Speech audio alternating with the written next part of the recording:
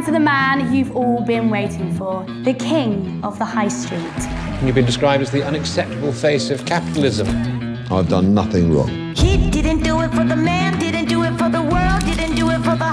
This is Nick. He's chronicling my life. He just loves money. He paid himself and his wife 1.2 billion pounds. This is for all of you. No, not literally, but I mean, thank you. I did it for the money. Hi, you're the fashion editor. Yes. Did you expect me to look a bit more like a model? Of course not. Uh, not that you you look great. He was his own man from the start. What is the average wage in Sri Lanka? 50p a day. Imagine how many dresses I can get made. He was a bully. Nod your head and shake my hand. He was a parasite. It's classic tax avoidance. Go away! Look at that. You can't buy a view like that. Oh, wait, no, I have. We've been working on this party for over a year. He wants it to repair his reputation.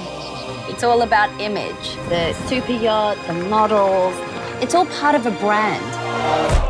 How bad is it? No one reads the mail online. It's cleavage clickbait. Yeah, except I'm the tit this time.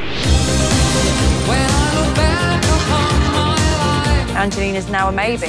Ed Sheeran's a no. You, you could get doubles. Quick question, are you out of your mind? The lookalikes. Yeah, Simon Cowell. He's good, yeah. Yeah. Looks like Rod Stewart's bitter older brother. Is that George Michael? George Michael's dead. Are those teeth fake? Take them out. Can you stop staring at me, please? It's very off-putting. I want noise. I'm in the business of loud. Why have you got the lion? We're recreating Gladiator.